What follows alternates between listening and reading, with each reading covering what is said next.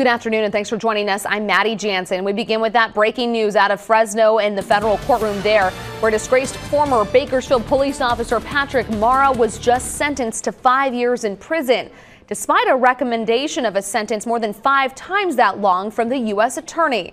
17's Jason Galvin is live this afternoon in Fresno after just leaving the courtroom. Jason, what can you tell us about what went on inside?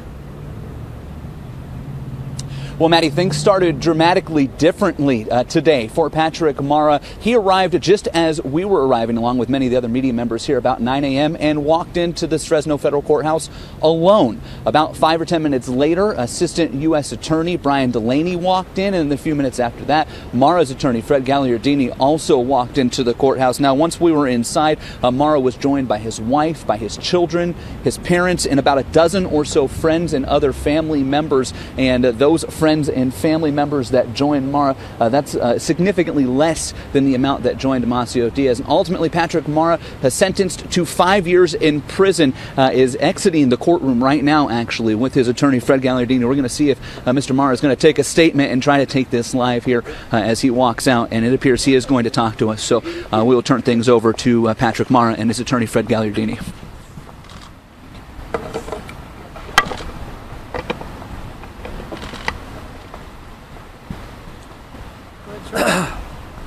Uh, again, I want to take this uh, time to publicly apologize to the Bakersfield Police Department, all of my former colleagues who I disgraced and shamed uh, their badge and uniform. Uh, I'm ashamed of my actions, ashamed of myself. Uh, apologize to the citizens of Bakersfield for betraying the trust that they had uh, placed in me. And um, I'd also like to, I guess, debunk some of uh, what's been going on uh, the past couple months as far as uh, allegations of corruption and other officers being involved. Uh, at the advice of my attorney, I obviously have had to sit quietly and wait for my day in court.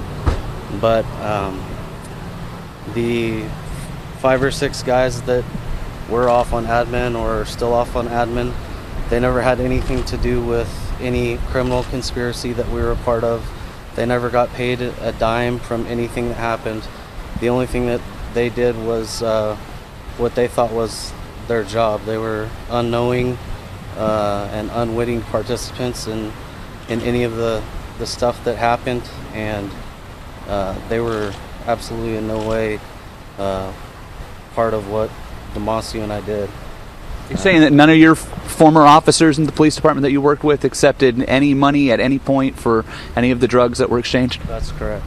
There were some questions on the times that officers were asked to pull over certain cars. Did, what did they know or not know about being asked to pull over a vehicle? What was their um, participation in those instances? Uh, those were typical of car stops that narcotics detectives would have patrol units do. I mean, we would tell them to stop the car and, hey, there might be this, there might be that, and show up and, uh, you know, we would take possession of of what was in the car. So they had no idea what you and Damacio were doing? No, they had no idea and didn't take any part in what Damacio and I did. Patrick, your attorney sealed three documents in court from uh, last week that were filed. Can you tell us what were in those documents? Was that uh, something maybe debunking what you're saying now? That I'll answer that one. I didn't. I didn't seal any documents. The AUSA, the Assistant U.S. Attorney, is required to seal certain types of documents and letters uh, describing uh, any cooperation that a defendant may have given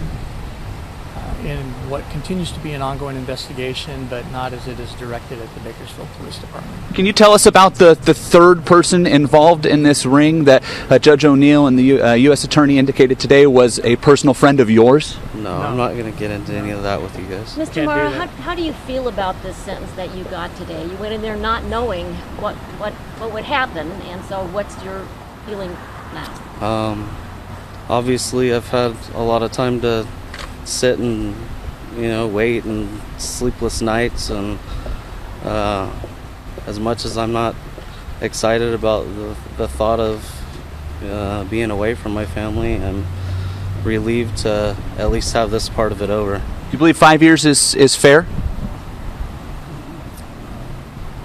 I know that I know that I committed crimes and I have to pay for those crimes. So I'm I'm willing to accept what the judge issued. The judge spoke directly to your children, and I was watching your daughter during, I think, the time that your wife was speaking, and she was constantly dabbing at her eyes. What did you think of what the judge said to your little kids? I don't want to. I don't want to talk about my my kids and. I the thought it was very sweet that he reached out to them specifically. What- What do you plan to do before turning yourself in? What are your plans over the next month and a half? Try and get my family situated and get them stable. Do you, have, do you have a message to the public at this point? You alluded to that, but I just wanted to add, give you another opportunity. Uh, I mean, You were there to serve the community of Bakersfield, so at this point, do you have a message to them?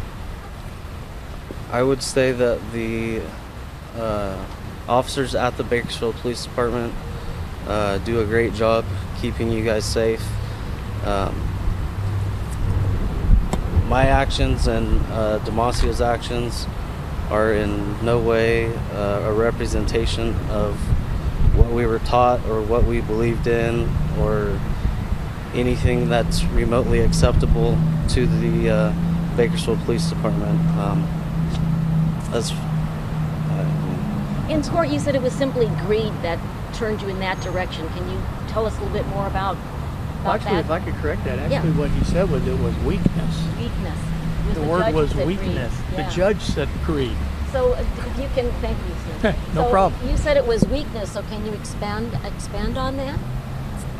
Uh, I mean, at at that time in my life, I was, yeah, I was, um, I don't know, going through a rough patch, and I folded to temptation, and now I, now I get to deal with the consequences of those actions. Ready to go with your family? Yeah, thanks, guys. Mr. Gagliardini, anything else you want to tell us about this case? Uh, do About the case, no. But I was impressed with the judge saying that once your life gets distilled down and everything else is gone, all the chaff's blown away, it's three things that are important. It's God, your family, and your friends. And you can see what he's going through right now. Are you satisfied with what your client received today? Uh, yes, yes, I am. Considering the uh, prior counsel he got from uh, uh, the lawyer before, I know you weren't up there, but there was a lawyer that uh, had been giving Mr.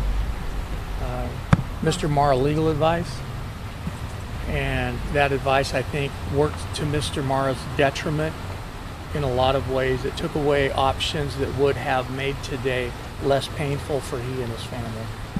And that's an embarrassment to me as a lawyer to, to have seen that. Have you reached out to that counsel at all? Uh, no, that wouldn't be appropriate. Thanks. Thank you, Sue. Fred Gagliardini and Patrick Mara there uh, responding to the sentence again.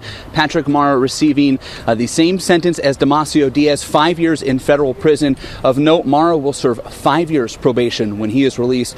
Diaz was sentenced to just three, and Mara is out uh, on his own remand. He is due to turn himself in at the same date and time as Damacio Diaz. That's 2 p.m. December 5th. We'll have much more tonight on 17 News at 5, live in Fresno. Jason Galvin, 17 News.